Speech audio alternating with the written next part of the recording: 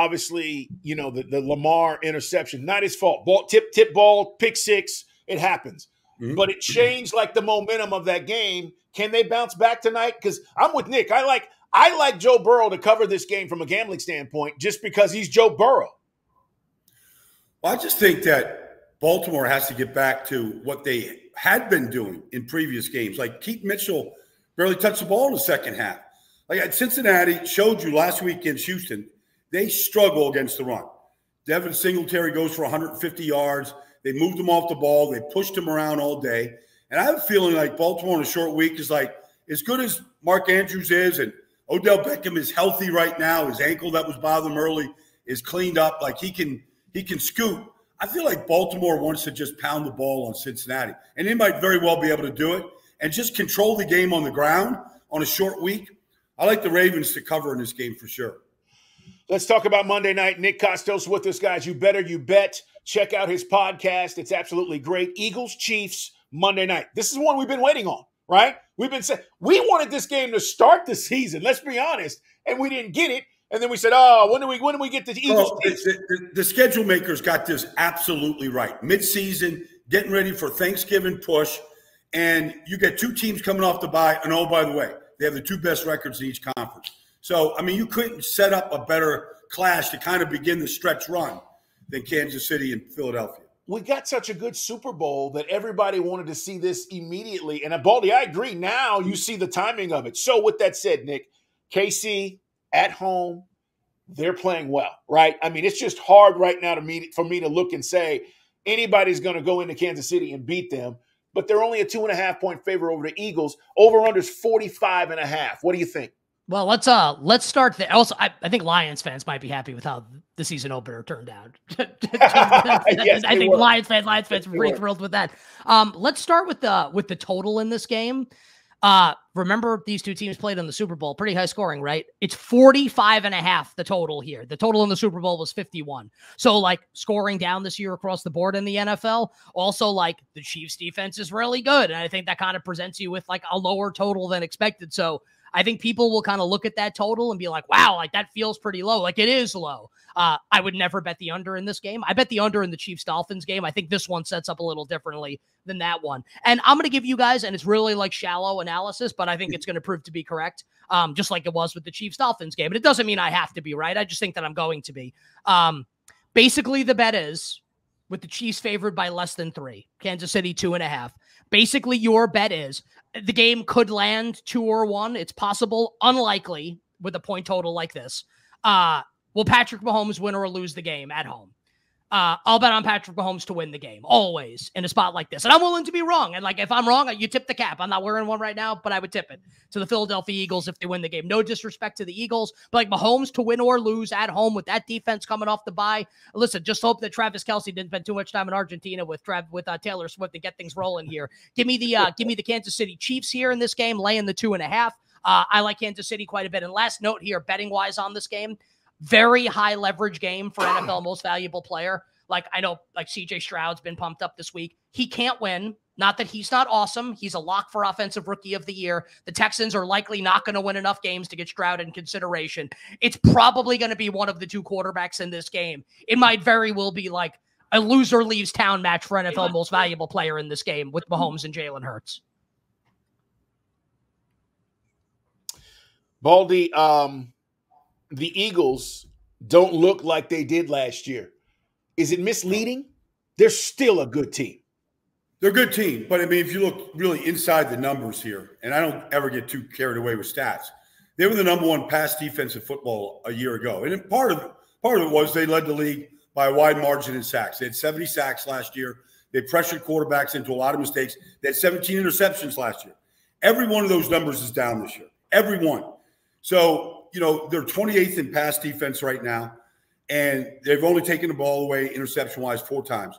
Like it puts a lot of pressure on the offense, which is really good. And Jalen spent two weeks getting healthy. That that bone bruise is healed up a little bit. It's not 100, percent but he's a lot better.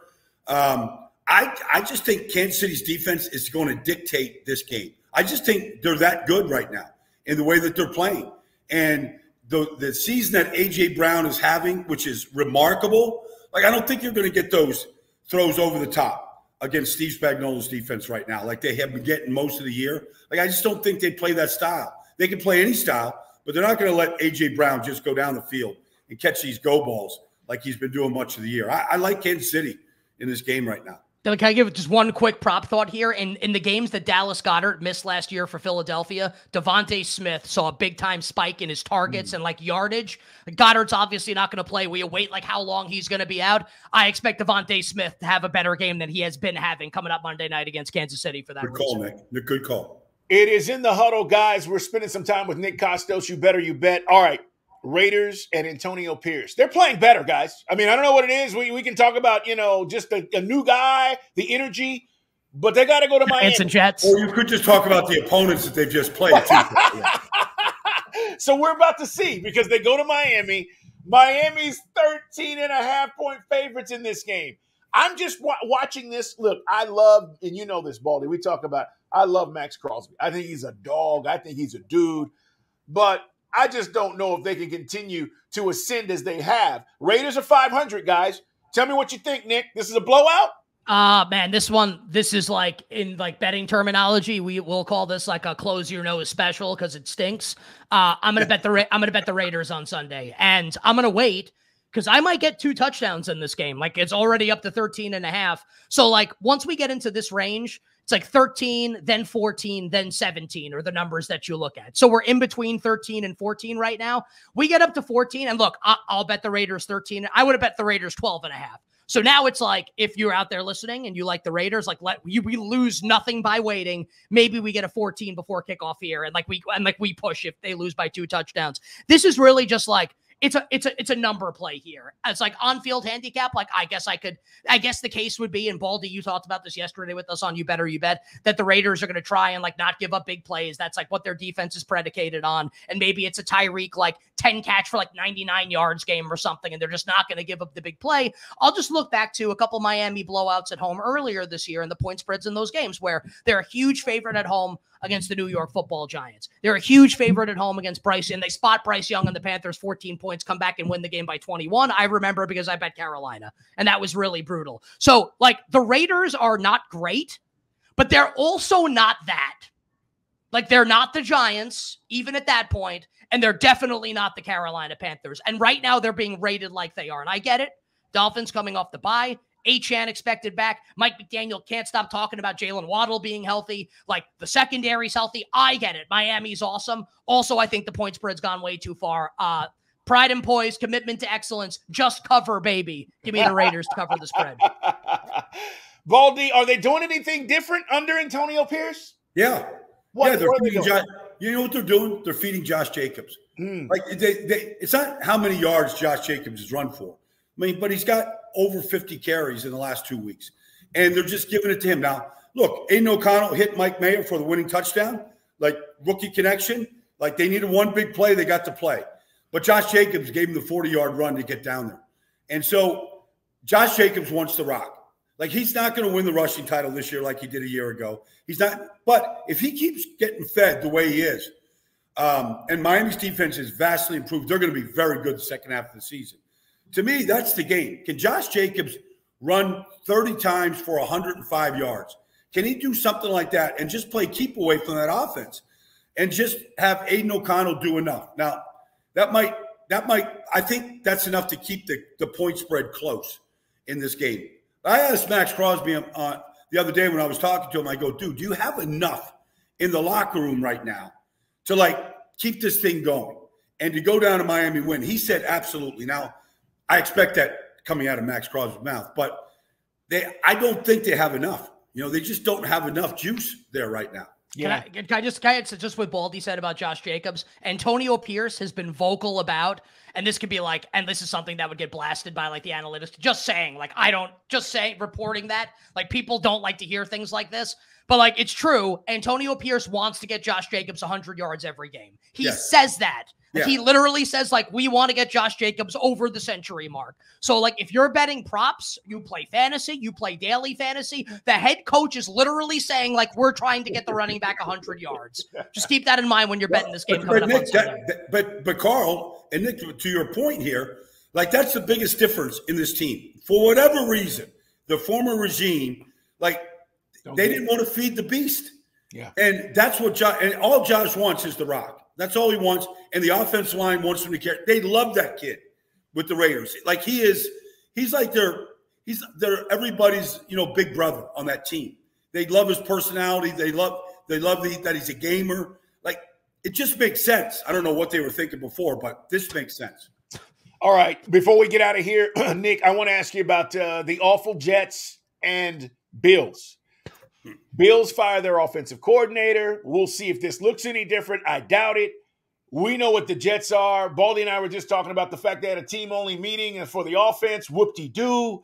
Let's talk about the number, though. Buffalo must win, right? Seven point favorite, 39 and a half over under in the four o'clock window on Sunday. Jets Bills. What do you like? You guys, uh, you guys watch the HBO show Succession? You guys love familiar it. with that with that TV show? I well, love it. I feel like all Baldy does is watch football because he's the best. Baldy, like this, this show's Baldy. This show's Sorry, no, no, no. I'm guilty. Dude, this show this show is outstanding. Carl, look at listeners, look at this. Sean McDermott sounds like Kendall Roy, like when he gives press conferences now. Dude, it's just corporate buzzword after cor- I, this quote that came out yesterday about what he wants the offense to do. This is like something like I could see like, like, like an executive, like a low level executive of Microsoft coming out and saying this. She's like, yeah, like we want to come out and play with energy and the subculture. Like, what, dude? What the hell are you talking about? Like, I'm I'm nervous for what's going to happen the rest of the season for the Buffalo Bills, and like he he's the mayor of Scapegoat City. There ain't nobody left. Leslie Leslie Frazier's gone. Now Ken Dorsey's gone, and it's all it's all on Sean McDermott.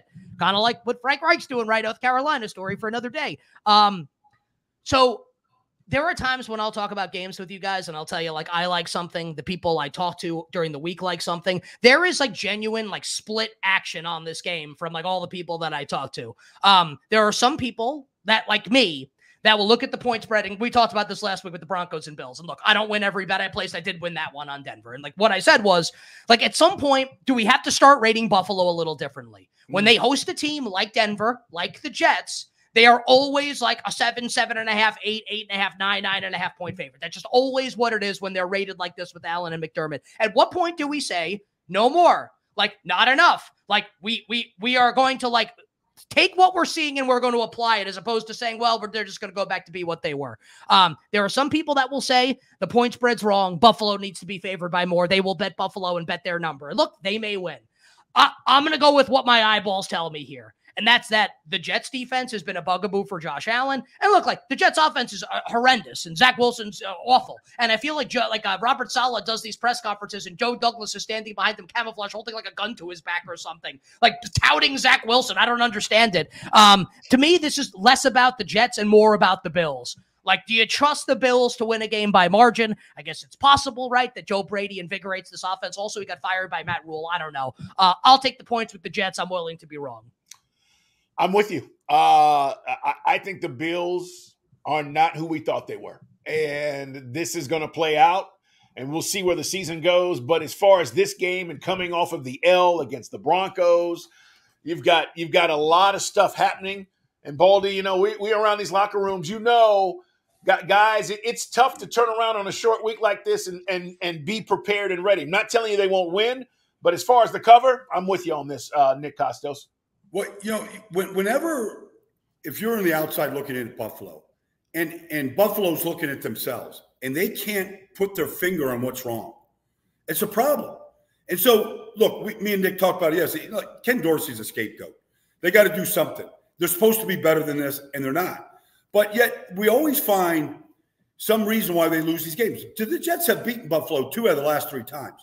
Like, if Jets get the running game going, I know defensively they're going to play great. Right. I know it. And they'll probably force a couple mistakes. But you could just feel this internal combustion with what Diggs did in the offseason, kind of what his brother's saying now. What's going there's it's not it's not the cohesiveness that you need. And it all falls on Josh Allen. And when it does fall on Josh Allen, he's guilty of making mistakes. But at the same time, like they ran the ball better against Denver on Monday night than they run it all year. But there goes the offensive coordinator. So, like, nobody can put their finger on it right now, but it doesn't feel good. I feel like the Jets can cover in this game. I feel like this is the Jets season. And this is a Buffalo season too. But I feel like they can win this game in spite of their quarterback right now. Nick, tell the people where they can find you and uh, what time are you on, my friend? Also, like, hey, Joe Brady, like, don't call a pass play the entire game. Like, let the Jets screw up and win the game like 13 3. Like, I mean, that, that's what I, if you bet on Buffalo, that's what I would want to see. Uh, you better, you bet weekdays 3 to 7 p.m. Eastern, uh, Audacy app, uh, BetQL app, radio stations nationwide, including like Sirius 160, XM 205. Uh, we're on Stadium as well from 4 to 6 yeah, all, all sorts of good stuff. And on Sunday morning, 11 a.m. to 1 p.m. Eastern, also. Great stuff as always, man. We look forward to talking with you next week, guys. Thanksgiving. We got Thanksgiving Day uh, games. Obviously, we got Black Friday games. So we got a lot, lot, of stuff to get to, and I can't wait to see what Nick thinks about the betting aspect of things. Nick, thank you so much. We'll talk to you next time. You, Wishing everybody minimal sweats, winning bets, the absolute very best of luck. Thanks, guys. All right, guys.